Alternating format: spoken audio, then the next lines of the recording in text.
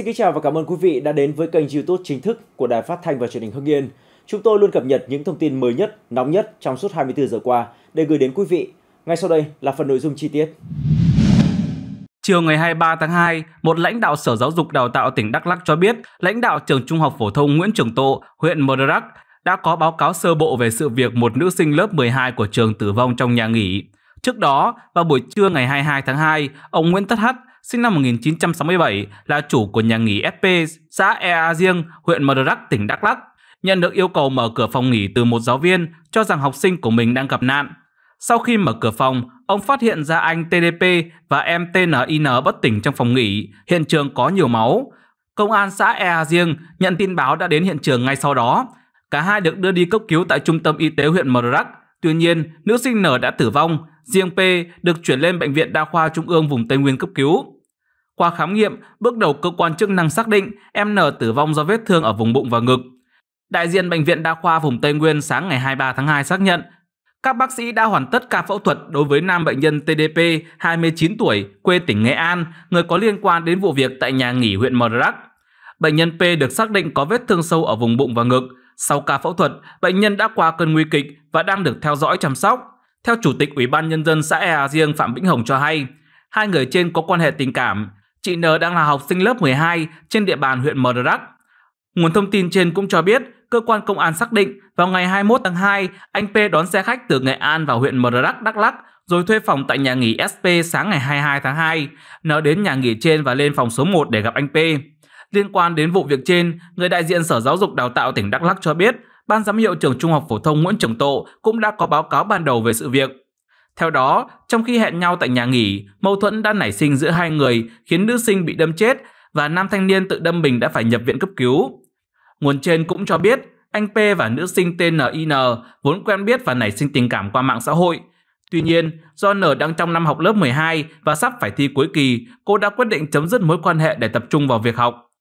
Vào sáng ngày 22 tháng 2, N đã nhắn tin cho một bạn cùng lớp tiết lộ cô không đi học vì đang ở tại một nhà nghỉ và dặn bạn đừng để mẹ biết chuyện này. Đáng chú ý, trước khi vụ việc bị phát hiện, bạn của nữ sinh có nhận một bức ảnh chụp hung khí trên giường trong phòng nghỉ. Vụ tai nạn giao thông trên cao tốc Cam Lộ La Sơn khiến anh Quy mất cả vợ và hai người con. Với người chú ruột lái xe đã bị khởi tố, anh Quy mong muốn chú mình được giảm nhẹ hình phạt. Mặc dù đã lo hậu sự xong cho vợ và hai con sau vụ tai nạn thảm khốc trên cao tốc Cam Lộ La Sơn, nhưng anh Phan Đình Quy, sinh năm 1978, chú phường Đông Tân, thành phố Thanh Hóa, vẫn chưa nguôi xót xa trước nỗi đau này. Ngoài đau đớn vì mất đi ba người thân, anh Quy còn thấy hối hận khi nhờ chú ruột của mình cầm lái khiến chú bị liên lụy. Anh Quy cho biết, mùng 6 Tết, gia đình anh dùng xe cá nhân vào các tỉnh miền Trung để thăm bạn bè du xuân. Trên đường về, gia đình anh ghé tỉnh Quảng Nam đón chú ruột là ông Phan Đình Kiều, sinh năm 1969 cùng về quê. Theo anh Quy, ông Kiều có hoàn cảnh rất khó khăn, đã ly dị và không có công việc ổn định. Khi gặp thấy hoàn cảnh chú đáng thương nên tôi có ý rủ chú về quê xem có công việc gì thì xin cho chú đi làm. Thông tin được biết, ngày 18 tháng 2, gia đình anh và người chú xuất phát từ thành phố Đà Nẵng tới thành phố Đông Hà, tỉnh Quảng Trị để gặp người quen trước khi về Thanh Hóa. Cũng theo anh Quy, vì mệt mỏi do chạy xe nhiều ngày nên trên đường ra Quảng Trị, anh nhờ ông Kiều lái xe để tranh thủ ngủ. Khi chiếc xe đi được hơn 100 km qua địa phận huyện Phong Điền, tỉnh Thừa Thiên Huế thì tai nạn ập tới. Tôi đang ngủ trên xe thì bỗng nghe tiếng động lớn, chiếc xe lộn nhiều vòng. Hốt hoảng tỉnh dậy, xe đã bị lật ra khỏi đường cao tốc. Vụ tai nạn khiến tôi mất đi cùng lúc cả vợ và hai con. Thật sự chẳng còn nỗi đau nào hơn thế. Anh Quy đau xót. Cũng theo anh Quy, sau vụ tai nạn, anh rất buồn và cảm thấy có lỗi vì không lái xe chở vợ con an toàn. Ngoài ra còn làm liên lụy đến chú ruột. Anh Quy chia sẻ, khi báo tin cho chú biết, chú cũng khóc và ngất nhiều. Chú còn nói nếu đổi mạng chú cho ba mẹ con sống lại chú cũng đổi. Nghe chú nói vậy tôi cũng thương chú nhiều lắm. Anh Quy cũng bày tỏ mong các cơ quan chức năng và cấp có thẩm quyền xem xét, giảm nhẹ hình phạt hoặc xử lý vụ việc theo tính chất gian đe giáo dục để người chú sớm ổn định lại tinh thần.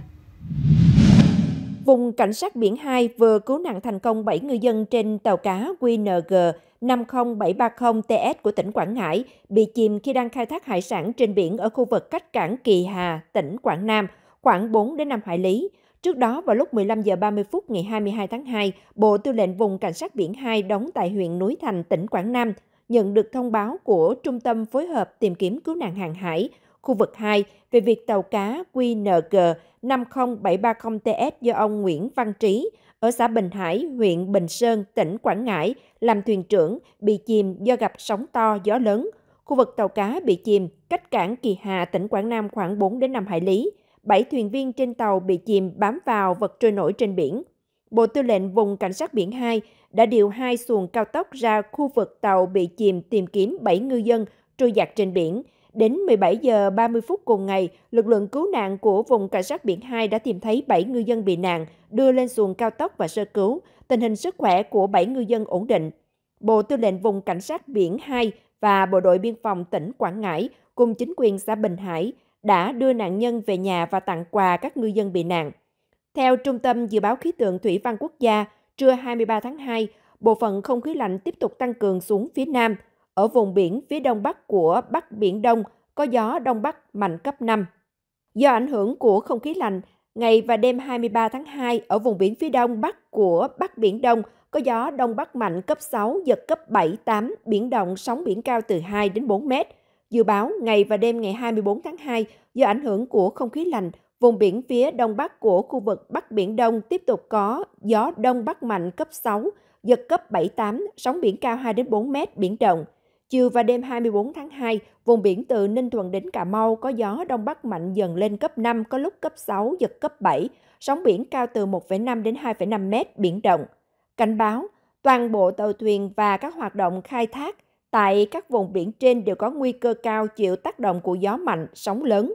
Trước tình hình gió mạnh, sóng lớn trên biển, các chuyên gia khí tượng khuyến cáo các phương tiện tàu thuyền đang hoạt động trên biển chủ động phòng tránh, bảo đảm an toàn và có kế hoạch sản xuất phù hợp duy trì thông tin liên lạc với các cơ quan chức năng, đồng thời khuyến cáo ngư dân và các thuyền viên thường xuyên theo dõi bản tin dự báo thời tiết trên những phương tiện thông tin đại chúng để chủ động phòng tránh, giảm thiểu thiệt hại, chú ý quan sát bầu trời và mặt biển để nhận biết thời tiết nhằm xử lý kịp thời các tình huống xấu có thể xảy ra. Bộ Công an đang lấy ý kiến về báo cáo giải trình một số nội dung mới trong dự thảo luật trật tự an toàn giao thông đường bộ đã trình Quốc hội tại kỳ họp thứ 6. Một trong những nội dung được lấy ý kiến đó là việc phân hạng giấy phép lái xe cho phù hợp với Công ước viên về giao thông đường bộ năm 1968 và thực tiễn của Việt Nam. Qua nghiên cứu, phân tích, đánh giá, Bộ Công an thấy rằng việc phân hạng giấy phép lái xe vào dự thảo luật trật tự an toàn giao thông đường bộ là cần thiết. Bộ Công an lý giải việc phân hạng giấy phép lái xe để nội luật hóa các quy định về phân hạng giấy phép lái xe quy định tại Công ước viên năm 1968, đảm bảo cam kết của Việt Nam khi gia nhập Công ước. Việc phân hạng giấy phép lái xe cũng sẽ tạo thuận lợi cho người Việt Nam sinh sống học tập tại các nước là thành viên của Công ước viên năm 1968. Khi đó, người Việt Nam sẽ không mất chi phí đổi học để được cấp giấy phép lái xe, góp phần phát triển kinh tế, du lịch, thương mại, hợp tác quốc tế, đồng thời phát triển đầu tư, sản xuất, lắp ráp, nhập khẩu phương tiện trong nước và quốc tế, do có sự đồng bộ về phân hạng phương tiện và giấy phép lái xe. Trên cơ sở đó, cơ quan soạn thảo đã nghiên cứu thiết kế việc phân hạng giấy phép lái xe bao gồm các nội dung sau. Bỏ hạng A4 và không quy định hạng giấy phép lái xe cho người điều khiển máy kéo vì căn cứ vào kiểu loại công dụng của phương tiện. Loại phương tiện này sẽ được xếp vào nhóm xe máy chuyên dụng. Đưa hạng B1 và B2 về cùng hạng B do căn cứ để phân hạng giấy phép lái xe là từ công suất, kiểu loại, động cơ và số chỗ ngồi.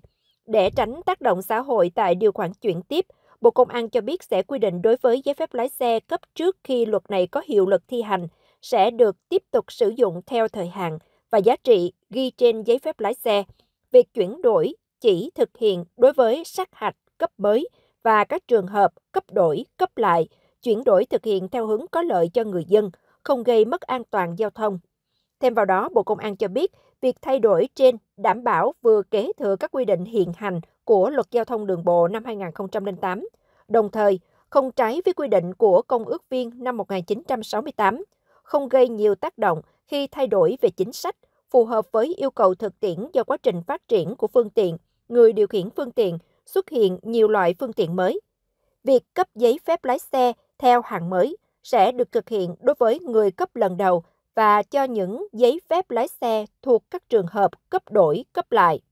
Việc chuyển đổi chỉ thực hiện đối với sát hạch cấp mới và các trường hợp cấp đổi cấp lại, chuyển đổi thực hiện theo hướng có lợi cho người dân, không gây mất an toàn giao thông.